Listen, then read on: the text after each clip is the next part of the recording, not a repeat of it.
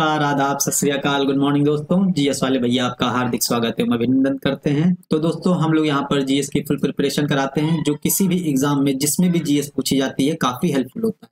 Helpful इसलिए होता है, क्योंकि दोस्तों, हम लोग पढ़ते ही इसी तरीके से हैं थ्योरी में ही मल्टीपल टाइम्स रिविजन करते हैं, फिर एमसीक्यूज वन लाइनर भी सॉल्व करते हैं, जो कि एग्ज़ाम में एक्सपेक्टेड क्वेश्चन उसमें समाहित होते हैं। तो दोस्तों, हम लोग मौलिक अधिकारों का चैप्टर पढ़ रहे थे। मौलिक अधिकारों में हम लोग जो है समानता का अधिकार और स्वतंत्रता का अधिकार पढ़ चुके थे। अब दोस्तों, हम लोग शुरू करते हैं शोषण के विरुद्ध अधिकार। तो दोस्तों, हमारे संविधान के भाग तीन में अनुच्छेद 23 से 24 तक शोषण के विरुद्ध अधिकारों का समावेशन किया गया है। तो दोस्तों, हम लोग इसको एक एक करके पढ़ते हैं। जैसे अनुच्छेद 23 में मनुष्यों के दुर्व्यापार बेगार और बलात् श्रम की मनाही की बात की गई है। तो हम यहाँ पर तीनों शब्दों को बहुत ध्यान से समझते हैं। दुर्व्यापार, बेगार और बलाश्रम।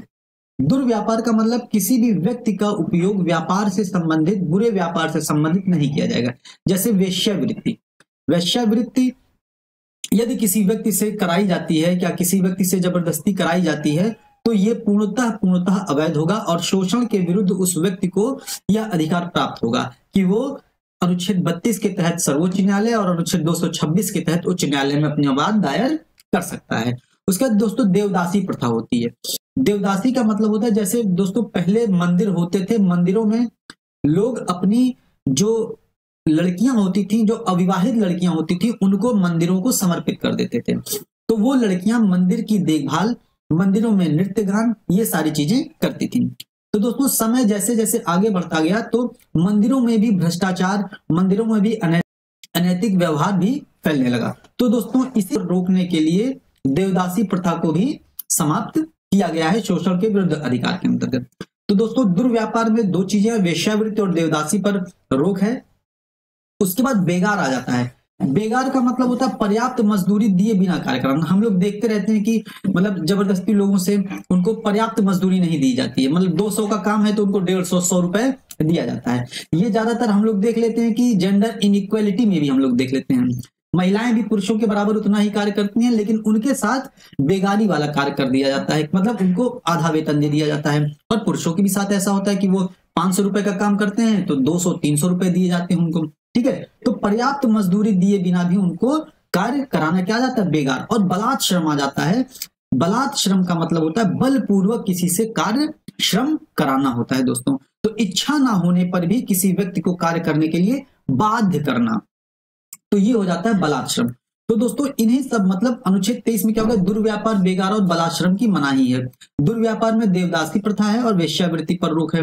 बेगार में पर्याप्त मजदूरी दिए बिना कार्य कराना और बलाश्रम में ज़बरदस्ती किसी से कार्य कराना, ये हो जाता है। उसके बाद दोस्तों, इसके संबंध में संसद ने कुछ कानून बनाए हैं। शोषण को रोकने के लिए बहुत आसान याद करना, तीन कानून आप लोग पढ़ेंगे, उन्नीस सौ और अनुच्छेद 24 में छियासी पढ़ लेंगे आप लोग, ठीक है? अभी देखते हैं, उन्नीस सौ छियासी।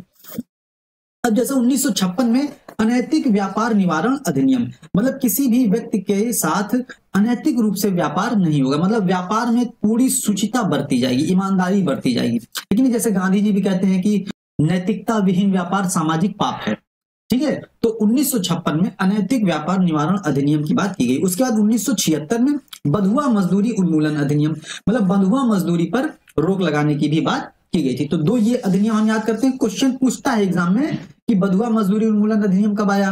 अनैतिक व्यापार निवारण अधिनियम कब आया? तो ये सब क्वेश्चन पूछ लेते हैं। तो हमको ये पता होना चाहिए। तो ये अनुच्छेद तेईस के ही अंतर्गत है। लेकिन इसके अंतर्गत, अनुच्छेद तेईस के अंतर्गत क्या है? अपवाद क्या है? कि राज्य राज्य लोक उद्देश्य है तो अनिवार्य सेवाएँ आपसे ले सकता है, हमसे ले सकता है, किसी से भी।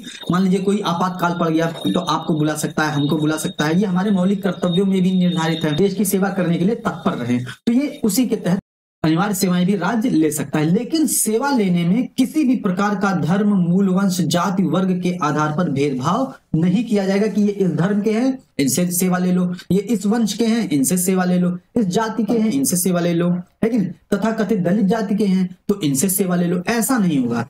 राज्य सेवा लेने में इन सभी से परे होगा। धर्म मूल वंश जाति, वर्ग के आधार पर किसी के साथ कोई भेदभाव वो नहीं कर सकता है, ठीक है? अब उसके बाद दोस्तों, अनुच्छेद 24 आ जाता है। 24 14 ये याद रखना है। हमको भी 23 24 में कंफ्यूजन हो जाता था तो हमने 23 24 को याद कर लिया। 24 में 14 है, बाकी जो बचे 23 में तीन चीज़ें हैं। क्या था? दुर्व्यापार बेगार और बलाश्रम पर मनाई तेईस में तीन चीज़ें थी, चौबीस में चौदह है। मतलब चौदह वर्ष तक की आयु के बच्चों को खान कारखाना खतरनाक उद्योगों में कार्य नहीं कराया जाएगा। अनुच्छेद 24 में यह वर्णित है कि 14 वर्ष तक के बच्चों को किसी भी खतरनाक काम में का, खान हो कारखाना हो या खतरनाक उद्योगों में कार्य नहीं करा जाएगा। और इसी संबंध में अब जैसे अनुच्छेद 23 में हम लोग पढ़ चुके ना उन्नीस सौ छप्पन उन्नीस सौ छिहत्तर अब देखिए छह छह की पुनरावृत्ति हो रही है। अब इसमें भी दो चीज़ें आ गई हैं उन्नीस सौ छियासी और 2016 बहुत आसानी से देखिए याद हो जा रहा है कि नहीं? खुद कह रहा है कि याद करो हमको। है कि नहीं? दिमाग लगाना ही नहीं खुद कह रहा है कि हमको याद कर लो।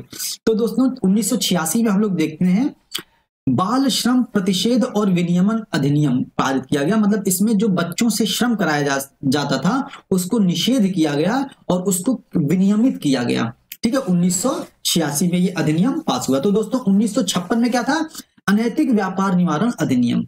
ये ध्यान रखना है 1976 में बधुआ मजदूरी उन्मूलन अधिनियम आया। फिर 1986 में आता है राजीव गांधी की सरकार में। देखिए, जैसा पहला अनैतिक व्यापार निवारण अधिनियम आ जाता है, जवाहरलाल नेहरू की सरकार में। 1976 बधुआ मजदूरी उन्मूलन अधिनियम आ जाता है, इंदिरा गांधी की सरकार में। 1986 में बाल श्रम प्रतिषेध व विनियमन अधिनियम आता है, राजीव गांधी की सरकार में। और 2016 में मोदी सरकार में आता है, बाल एवं किशोर श्रम प्रतिषेध और विनियमन अधिनियम। अब दोस्तों, जो 2016 में ये कानून पास होता है, बाल श्रम एवं बाल एवं किशोर श्रम प्रतिषेध व विनियमन अधिनियम, इसमें क्या कहा गया? चौदह वर्ष तक के सभी बालकों के बाल श्रम पर रोक लगा दी गई दोस्तों। ठीक है? चौदह वर्ष तक के जो कोई भी बालक होगा, किसी भी प्रकार पर उससे बाल श्रम नहीं करवाया जाएगा और चौदह से अठारह वर्ष के जो किशोर होंगे उनको खतरनाक उद्योगों में कार्य नहीं दिया जाएगा दोस्तों। तो ये चीज़ें हमको ध्यान देनी है। अनुच्छेद तेईस चौबीस में चार कानून है, उन्नीस सौ छप्पन, उन्नीस सौ छिहत्तर, उन्नीस सौ छियासी और 2016 1956 में अनैतिक व्यापार निवारण अधिनियम 1976 में बधुआ मजदूरी उन्मूलन अधिनियम और उसके बाद उन्नीस सौ छियासी आता है बाल श्रम प्रतिषेध और विनियमन अधिनियम। 2016 में आता है बाल एवं किशोर श्रम अधिनियम आ जाता है दोस्तों। तो दोस्तों हमको ये सारी चीज़ें याद रखनी है अनुच्छेद तेईस और चौबीस के तहत। ठीक है दोस्तों?